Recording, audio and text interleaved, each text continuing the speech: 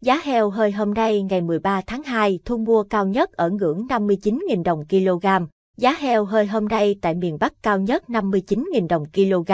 Theo ghi nhận, giá heo hơi tại miền Bắc đồng loạt ghi ngang. Theo đó, thương lái tại Thái Nguyên đang thu mua heo hơi với giá cao nhất khu vực là 59.000 đồng kg.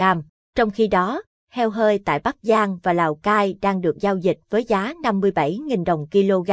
thấp nhất khu vực. Các tỉnh thành còn lại duy trì thu mua ổn định với giá 58.000 đồng kg. Giá heo hơi hôm nay tại miền Bắc dao động trong khoảng 57.000 đến 59.000 đồng kg.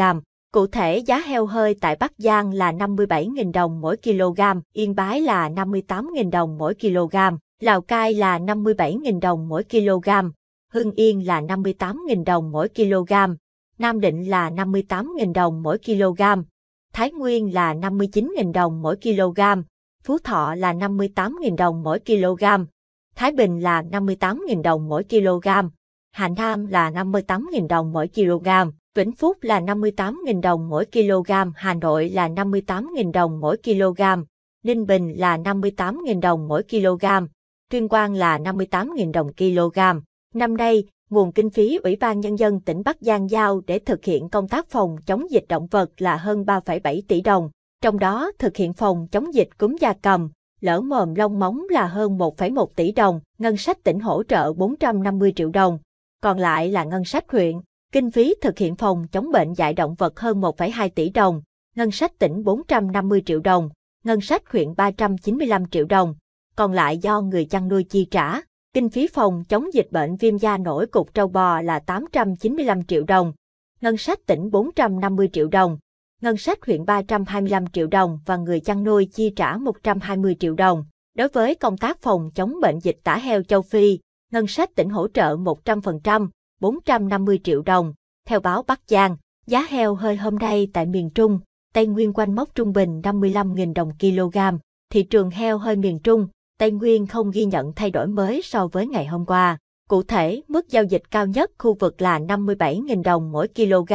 được ghi nhận tại tỉnh Thanh Hóa, thấp hơn một giá ở mức 56.000 đồng kg là giá heo hơi ở tỉnh Nghệ An. Thương lái ở các tỉnh còn lại được ghi nhận trong khoảng 55.000 đến 56.000 đồng kg. Hiện tại, giá thu mua heo hơi ở khu vực miền Trung, Tây Nguyên trong khoảng 54.000 đến 57.000 đồng kg. Cụ thể giá heo hơi tại Thanh Hóa là 57.000 đồng mỗi kg, Nghệ An là 56.000 đồng mỗi kg, Hà Tĩnh là 55.000 đồng mỗi kg, Quảng Bình là 54.000 đồng mỗi kg, Quảng Trị là 54.000 đồng mỗi kg,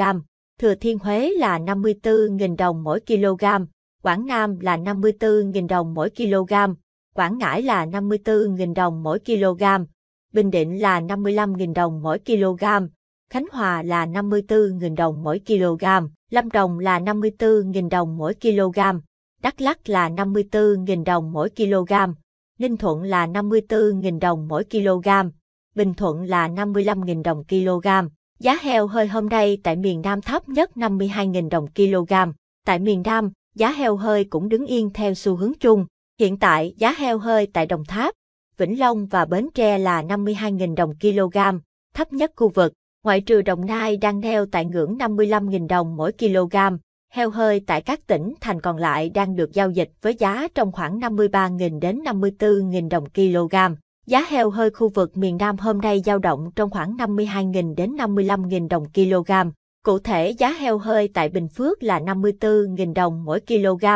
Đồng Nai là 55.000 đồng mỗi kg, thành phố Hồ Chí Minh là 54.000 đồng mỗi kg, Bình Dương là 54.000 đồng mỗi kg, Tây Ninh là 54.000 đồng mỗi kg, Vũng Tàu là 54.000 đồng mỗi kg, Long An là 54.000 đồng mỗi kg, Đồng Tháp là 52.000 đồng mỗi kg, An Giang là 53.000 đồng mỗi kg,